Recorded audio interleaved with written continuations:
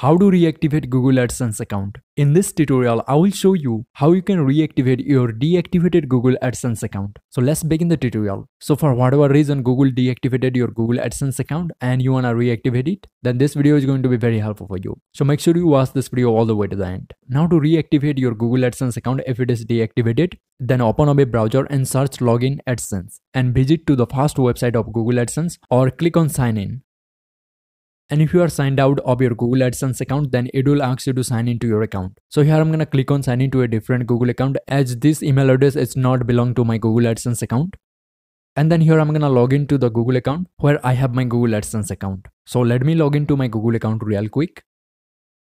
So once you logged into your Google AdSense account, and if it is deactivated, then you will see a message like this. Your AdSense account was deactivated because it is inactive. To reactivate your account, you may need to verify your phone number and submit your existing or new site for review. So in order to reactivate your Google AdSense account, here click on reactivate account. And here you can see on the left, as my Google AdSense account is deactivated, I cannot access to account and payment settings. And to gain access to these settings on my Google AdSense account, I need to reactivate my account. And in order to reactivate my account, I need to add a site to my Google AdSense account. So if I scroll down here, you can see it says connect your site to AdSense and it is required in order to reactivate Google AdSense account. So here click on let's go. And now here you have to add a website. So enter the correct URL of a website that you own. After adding the website, now click on save. And here it is, the website has been added to my AdSense account. So once you added your site to Google AdSense, now just go back to Google AdSense sign in page.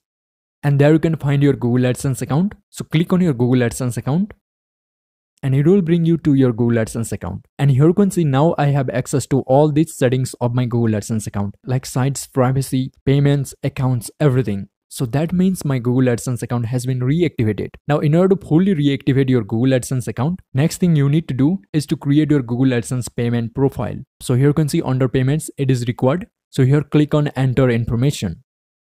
And now here you have to provide your payment profile details. So here at first you're gonna select your account type.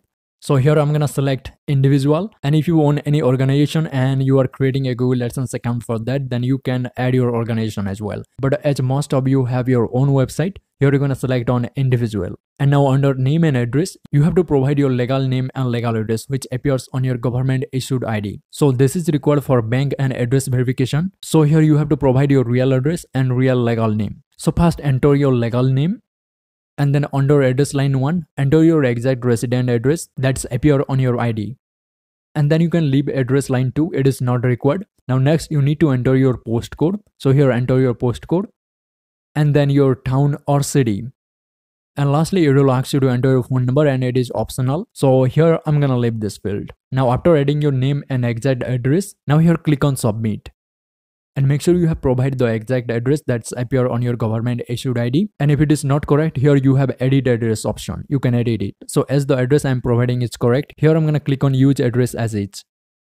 and now here again in this page click on submit and now here AdSense will ask to verify your phone number. So here you have to enter your country code and phone number and you have to select on text message or voice call the way you like to receive OTP and then you're gonna click on send. So once you click on send, you will receive an OTP from Google AdSense to your phone number and then you need to enter that OTP and then you have to click on submit and your payment profile will be created. And that's exactly how you can completely reactivate your Google AdSense account. And that's pretty much it is. That's how you can reactivate your Google AdSense account if it is deactivated. And if you found this video helpful, then definitely leave a like and comment in this video. And if you want to change admin on your Google AdSense account, then watch this video and I will see you in the next one.